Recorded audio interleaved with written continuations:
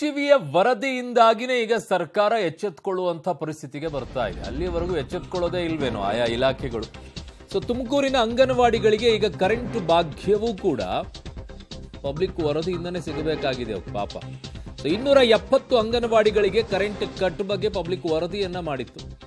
So public ಟಿವಿಯ ವರದಿ ಬಳಿಕ ಈಗ ಸರ್ಕಾರ ಎಚ್ಚೆತ್ಕೊಂಡಿದೆ. ಬೆಳಗ್ಗೆ ವರದಿಯನ್ನ ಪ್ರಸಾರ ಮಾಡಿದ್ವಿ, ಈಗ ಮಧ್ಯಾಹ್ನ ಅಷ್ಟೊತ್ತಿಗೆ ಕರೆಂಟನ್ನು ಕೊಟ್ಟಿದ್ದಾರೆ. ಅದನ್ನು ನಾವೇ ಹೇಳ್ಬೇಕೆಂದು ಅಂಗನವಾಡಿ ಪರಿಸ್ಥಿತಿಗಳು. ಮೊನ್ನೆ ಮೈಸೂರದ್ದು ನೋಡಿದ್ರೆ ಅದು ಯಾವುದೋ ಗುಡಿಸ್ಲಲ್ಲಿ ಅಂಗನವಾಡಿ. ಈಗ ನೋಡಿದ್ರೆ ಅಂಗನವಾಡಿ ಕರೆಂಟ್ ಇಲ್ಲ. ಅಯ್ಯೋ. ಸೊ ಪಬ್ಲಿಕ್ ಟಿವಿ ಅಂತಂದ್ರೆ ಎಕ್ಸ್ಕ್ಲೂಸಿವ್ಗಳ ಹೆಡ್ ಆಫೀಸ್ ಒಂದಾದ ನಂತರ ಒಂದು ಸಾಮಾಜಿಕ ಕಳಕಳಿಯ ವಿಚಾರದಲ್ಲಿ ಧ್ವನಿಯನ್ನ ಎತ್ತಾನೆ ಬರ್ತೀವಿ, ಆ ಸುದ್ದಿಗಳನ್ನು ಪ್ರಸಾರ ಮಾಡ್ತಾನೆ ಬರ್ತೀವಿ.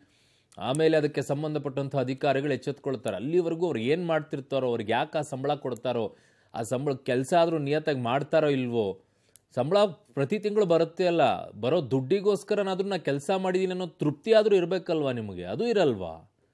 ಎಂಥ ಎಂಥವ್ರು ನೀವು ಕಚಡಗಳು?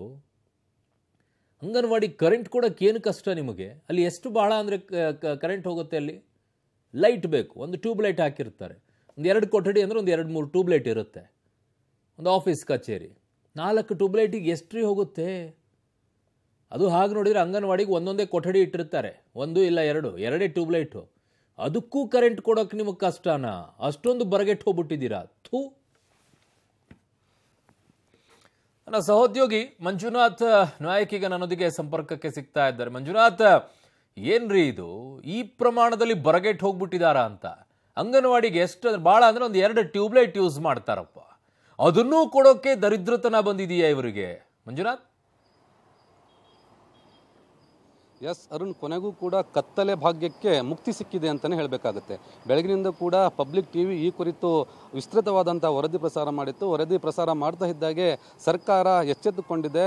ಮತ್ತು ಬೆಸ್ಕಾಂ ಕೂಡ ಎಚ್ಚೆತ್ತುಕೊಂಡಿರುವಂಥದ್ದು ಮಹಿಳಾ ಮತ್ತು ಮಕ್ಕಳ ಕಲ್ಯಾಣ ಇಲಾಖೆ ಕೂಡ ಎಚ್ಚೆತ್ತುಕೊಂಡು ಇದೀಗ ಏನು ತುಮಕೂರಿನಲ್ಲಿರುವ ಸುಮಾರು ಇನ್ನೂರ ಇನ್ನೂರ ಎಪ್ಪತ್ತಕ್ಕೂ ಹೆಚ್ಚಿನ ಅಂಗನವಾಡಿ ಕೇಂದ್ರಗಳಿಗೆ ವಿದ್ಯುತ್ ಸಂಪರ್ಕವನ್ನು ಕೊಟ್ಟಿರುವಂಥದ್ದು ಅಂದರೆ ಕಳೆದ ಆರು ತಿಂಗಳಿನಿಂದ ಯಾವುದೇ ರೀತಿಯ ಕರೆಂಟ್ ಬಿಲ್ಲನ್ನು ಕಟ್ಟಿರಲಿಲ್ಲ ಮಹಿಳಾ ಮತ್ತು ಮಕ್ಕಳ ಕಲ್ಯಾಣ ಇಲಾಖೆಯವರು. ಸೊ ಹಾಗಾಗಿ ಸುಮಾರು ಹದಿನೆಂಟು ಲಕ್ಷ ರೂಪಾಯಿ ಬಿಲ್ಲು ಬಾಕಿ ಇತ್ತು. ಇದರಿಂದಾಗಿ ಕಳೆದ ಒಂದು ತಿಂಗಳಿಂದ ಏನು ಬೆಸ್ಕಾಂ ಇಲಾಖೆಯ ಏನು ಅಧಿಕಾರಿಗಳು ಫೀಸನ್ನು ಕಿತ್ತಿದ್ದು. ಇದರಿಂದ ಕತ್ತಲೆಯಲ್ಲಿ ಅಂಗನವಾಡಿ ಮಕ್ಕಳು ಕಾಲ ಕಳೆಯುವಂತಾಗಿತ್ತು. ಸೊ ಹಾಗಾಗಿ ಇದರ ಕುರಿತು ಪಬ್ಲಿಕ್ ಟಿವಿ ವರದಿ ಮಾಡಿತ್ತು. ಆ, ನಂತರ ಎಚ್ಚೆತ್ತುಕೊಂಡಂತಹ ಅಧಿಕಾರಿಗಳು ಈಗ ಕರೆಂಟನ್ನು ಕೊಟ್ಟಿರುವಂಥದ್ದು. ಈಗ ಬೆಸ್ಕಾಂನ ಏನು ಎಂ ಡಿ ಅವರ ನಿರ್ದೇಶನದಂತೆ, ತುಮಕೂರಿಗೂ ಕೂಡ ಅವರ ನಿರ್ದೇಶನದಂತೆ ಅಧಿಕಾರಿಗಳಿಗೆ ಅವರು ಆದೇಶ ಹೊರಡಿಸಿರುವಂಥದ್ದು. ಹಾಗಾಗಿ ಈಗ ಅಂದರೆ ಒಂದು ಅರ್ಧ ಗಂಟೆ ಹಿಂದೆ ತುಮಕೂರು ಗ್ರಾಮಾಂತರ ನಲ್ಲಿರುವಂಥ ಅಧಿಕಾರಿಗೂ ಕೂಡ, ಯಾರಿದ್ದಾರೆ ಅದಕ್ಕೆ ಸೋ ಕಾಲ್ಡ್ ಅದಕ್ಕೆ ಸಂಬಂಧಪಟ್ಟಂಥವ್ರು ಕಾಮನ್ ಸೆನ್ಸ್ ಬೇಡವೇನ್ರಿ? ಅಷ್ಟೊಂದು ತಲೆ ಇಲ್ವಾ?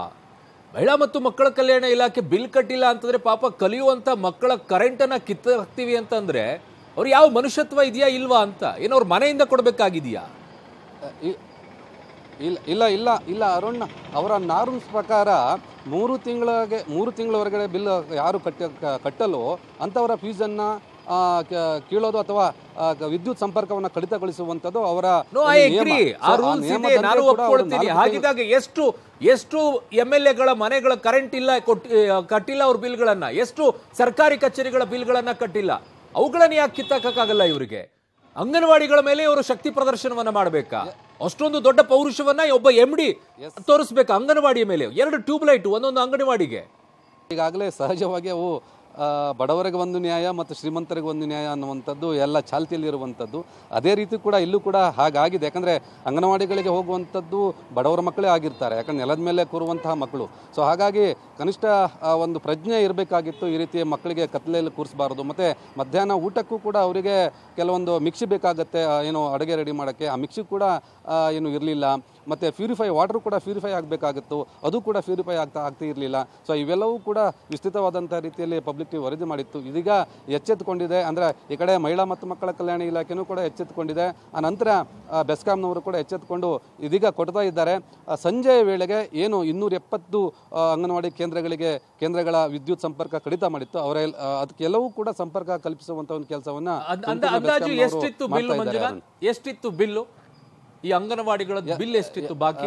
ಎಸ್ ಎಸ್ ತುಮಕೂರು ಜಿಲ್ಲೆಯಲ್ಲಿ ಒಟ್ಟು ಸುಮಾರು ನಾಲ್ಕು ಸಾವಿರ ಅಂಗನವಾಡಿ ಕೇಂದ್ರಗಳಿರುವಂಥದ್ದು. ಅದರಲ್ಲಿ ಸುಮಾರು ಒಂದು ಸಾವಿರ ಅಂಗನವಾಡಿ ಕೇಂದ್ರಗಳು ಬಾಡಿಗೆ ಕಟ್ಟಡದಲ್ಲಿ ನಡೀತಾ ಇದೆ. ಬಾಡಿಗೆ ಕಟ್ಟಡದಲ್ಲಿ ನಡೀತಾ ಇರೋದ್ರಿಂದ ಆ ಬಾಡಿಗೆಯ ಕಟ್ಟಡದ ಮಾಲೀಕರೇ ಏನು ಕರೆಂಟ್ ಬಿಲ್ ಕಟ್ತಾ ಇದ್ರು. ಉಳಿದಂತೆ ಮೂರು ಸಾವಿರ ಅಂಗನವಾಡಿ ಕೇಂದ್ರಗಳಿದೆ. ಅದು ಸರ್ಕಾರದ ಸ್ವಂತ ಕಟ್ಟಡದಲ್ಲಿ ನಡೀತಾ ಇದೆ. ಆ ಮೂರು ಸಾವಿರ ಅಂಗನವಾಡಿ ಕಟ್ಟಡಗಳಿಗೆ, ಸರ್ಕಾರದ ಸ್ವಂತ ಕಟ್ಟಡದಲ್ಲಿ ನಡೀತುವಂಥ ಕಟ್ಟಡಗಳಿಗೆ ಕರೆಂಟ್ ಬಿಲ್ ಕಟ್ಟಿರಲಿಲ್ಲ. ಅಂದರೆ ಪ್ರತಿ ತಿಂಗಳು ಸುಮಾರು ಮೂರು ಲಕ್ಷ ರೂಪಾಯಿ ಬಿಲ್ ಕಟ್ಟಬೇಕಾಗಿತ್ತು ಇಲ್ಲಿ ತನಕ ಸುಮಾರು ಹದಿನೆಂಟು ಲಕ್ಷ ರೂಪಾಯಿ ಬಾಕಿ ಉಳಿಸ್ಕೊಂಡಿತ್ತು. ಸೊ ಆ ಆ ಹಿನ್ನೆಲೆಯಲ್ಲಿ ಆ ಹದಿನೆಂಟು ಲಕ್ಷ ರೂಪಾಯಿಯನ್ನು ಬಾಕಿ ಉಳಿಸಿಕೊಂಡಂತ ಹಿನ್ನೆಲೆಯಲ್ಲಿ ಬೆಸ್ಕಾಂನವರು ಈ ರೀತಿಯ ಒಂದು ಕ್ರಮಕ್ಕೆ ಕೈ ಏನು ಮುಂದಾಗಿರುವಂಥದ್ದು. ಅಂದ್ರೆ ಎರಡು ಅಥವಾ ಮೂರು ತಿಂಗಳ ಒಳಗಡೆ ಕನ್ಸಿಷನ್ ಕೊಡ್ತಾರೆ. ಆ ತಿಂಗಳ ಕಟ್ಟಬೇಕಾಗತ್ತೆ ಯಾವತ್ತೋ ಆ ಮೂರು ತಿಂಗಳು ದಾಟ್ತೋ ಆಮೇಲೆ ಅವರು ಸಂಪರ್ಕ ಕಡಿತಗೊಳಿಸುವಂಥದ್ದು ಅರುಣ್. ಆದರೆ ಕೇವಲ ಇನ್ನೂರ ಎಪ್ಪತ್ತು ಕೇಂದ್ರಗಳ ಮಾತ್ರ ಕಡಿತಗೊಳಿಸಿದ್ದಾರೆ. ಇನ್ನು ಉಳಿದ ಸುಮಾರು ಏನು ಎರಡು ಸಾವಿರದ ಐನೂರಿದೆ ಅವಕ್ಕೂ ಕಡಿತಗೊಳಿಸಿಲ್ಲ. ಯಾಕಂದ್ರೆ ರಿಕ್ವೆಸ್ಟ್ ಮಾಡಿಕೊಂಡಿದ್ರು. ಆ ರಿಕ್ವೆಸ್ಟ್ ಆಧಾರದ ಮೇಲೆ ಅದನ್ನು ಬಿಟ್ಟಿದ್ರು. ಅಲ್ಲೂ ಕೂಡ ಸ್ವಲ್ಪ ಉದಾರತೆ ಬೆಸ್ಕಾಂನವರು ತೋರಿದ್ದಾರೆ ಎನ್ನುವುದನ್ನು ನಾವು ಇಲ್ಲಿ ಮರಿಬಾರದು. ಅರುಣ್. ಓಕೆ, ಮಂಜುನಾಥ್, ನಿಮ್ಮೆಲ್ಲ ಮಾಹಿತಿಗೆ ಧನ್ಯವಾದಗಳು. ಎಂತೆಂಥ ಕಚೇರಿಗಳ ಕರೆಂಟ್ ಬಿಲ್ಗಳನ್ನು ಕೋಟಿಗಟ್ಟಲೆ ಉಳಿಸ್ಕೊಂಡಿವೆ. ಲಕ್ಷಗಟ್ಟಲೆ ಅಲ್ಲ. ಇಲ್ಲಿ ಅಂಗನವಾಡಿಯಲ್ಲಿ ಹದಿನೆಂಟು ಲಕ್ಷ ಉಳಿಸ್ಕೊಂಡಿರೋದನ್ನೇ ಈಗ ಕರೆಂಟನ್ನು ಕಟ್ ಮಾಡೋ ಮಟ್ಟಕ್ಕೆ ನಿಮ್ಮ ಪೌರುಷ ತೋರಿಸ್ತೀರಾ ಅಂದರೆ